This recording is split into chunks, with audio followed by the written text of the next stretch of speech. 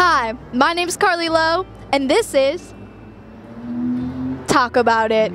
Today, we'll be talking to Lucas Nyhus from Those Pretty Boys at Wahoo's on Warner. Wahoo's Fish Tacos was founded in Costa Mesa in 1988 and offers Mexican food with a variety of Asian and Brazilian flavors. So I'm here today with the famous Lucas Nyhus from Those Pretty Boys. Sure, you've heard of them.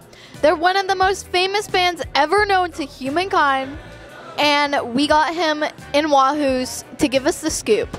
How are you today, Lucas? Feeling great. What are you eating? I'm eating the Kahlua Pig Bowl, and it's very yummy. So, Lucas, all the viewers want to know how did your band start? Well, we started in our friend's house. What friends? Uh, you know, my friends Tristan, Robert. We just thought it would be fun to hang out and play some music. Yeah. And then we got a show, and then we added members, and then we played more shows, and then we recorded an album. And then it just kind of got out of hand, but like fun out of hand, not bad out of hand. Okay. And then we kept playing more and more shows and like having more and more fun, so we just kept going. Right now, I don't have anything confirmed about this, but I just talked to a band about playing a tour in August, and it would be San Diego to Sacramento. What genre of music would you say those pretty boys are?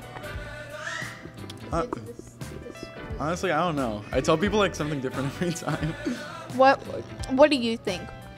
So, I've always told people like surf punk with a little bit of like ska and like maybe maybe a little bit of regular punk. A little bit. but then lately, like I thought about and I was- lately when people ask, I just don't really say like even musical genres. Like someone asked me recently, I just said, "Oh, we're fun. We're a fun band." Or like my friend's dad told his friend that we're a party band, and I really like that. So that's what I've been telling people. What's your favorite song you've ever written? I don't know my favorite one that we've written, like during the writing process, because like I never really know when we're writing, like how like how I'm gonna feel about it later. Like we've written songs that we've just been like, nah. Water was usually my favorite, or no, Karate Kid. I'm gonna say Karate Kid as my final answer, Perfect choice. because like when we don't have a set list and like I don't know where we're gonna play it, and someone's like, oh, let's play Karate Kid. next Oh, yeah. time." Like that's the one where I'm always like, oh, finally. Karate Kid is the best song I've ever heard in my life. One more question. Okay. Can you take us through like the process of those pretty boys writing a song? Like how you guys like come up with a song, like just the basic. writing a song like varies from song to song. Like we do pretty much everyone different. So like either like I write lyrics all the time just when I'm like I'll just think of an idea for a song and I'll just do the song that day just to like get it out of my system. And then someone from the band will write a song about it around that just like because like I'll have like the general structure and like the lyrics will like be completely ready or I'll just write a song about it if I like if I have like specific ideas that I don't think if I was like, hey, do you want to write this song for the lyrics I wrote? Like I don't think Oh. if I don't think they want can do exactly what I want because it's like very specific, then I'll just write it. Um, or usually you can just write it. No, but we've like all written songs and we all have input on songs. Like every song, so everyone at one point will be like, "What if I do this?" Or they'll be like, "Ethan, what if instead of doing this, you do this?" Or yeah. "Can we change the lyrics to this?" Like everyone has input on everything. So when did your passion for screenwriting and music like first begin in your life? So I always like switched what jobs I wanted. When I when I was a kid, I thought, "Oh, I'll be a veterinarian, I'll be a police officer, I'll be an engineer." And it always just switched back and forth for uh, several years until I just kind of developed an interest for movies, where like just like watching movies and then kind of starting to get more into it and being like, oh, I'll write a short three minute sketch and then, oh, I'll make a little two minute movie. And then it was just one day when I was like thinking about it and then it just, I was like, oh, I want to do this forever. And then, and then, yeah, that was just that. And then, Then with- you started making like actual movies. Like yeah, did you then like just screenwriting started as a way for me to make movies. Like I would just write a two minute thing, two page thing, and then I would film it. And that was super fun to me. But then, as I became more and more interested, I started writing longer and longer things until I wrote my first feature-length screenplay, which is garbage. It's terrible now. I hate it.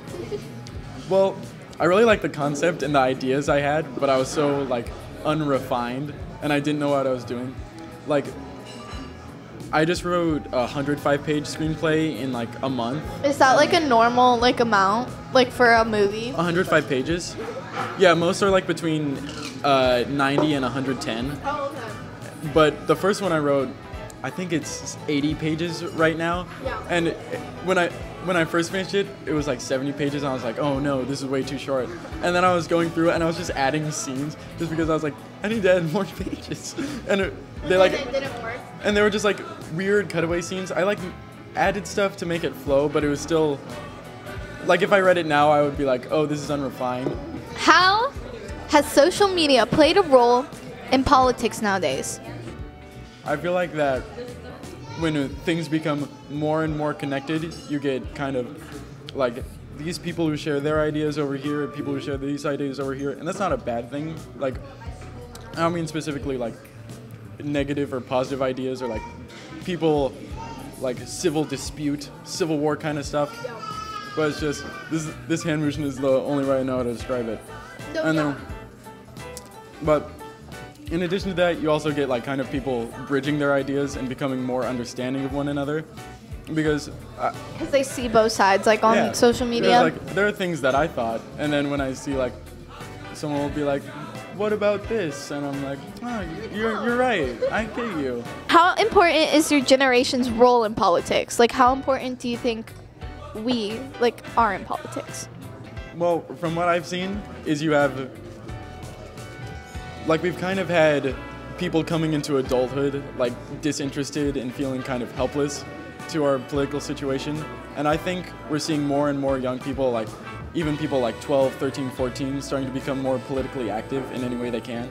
Like I'm not 18, I can't vote, but I've still volunteered for political campaigns. I, I write my congressman. I uh, I participate. Like I just do anything I can outside of voting. What are some national and world issues that concern you the most? No, most of my concerns belong in like environmental issues. I would say like poaching, and we're seeing like more extinction of species, like like at a higher and higher rate. But it's like if we just increased our conservation efforts and made more of an effort to protect and grow endangered species, like we could fix that problem. Uh, not not easily, but like if we were just like put a little bit of time and resources towards it, it would be pretty easy. And then and then yeah, that's just a concern of mine. Like everyone looks at the big overarching issues when it comes to environmental problems, but there's also a lot of smaller contained issues that could be solved. Yeah, Just do a little bit of meh, and there we go. That's it.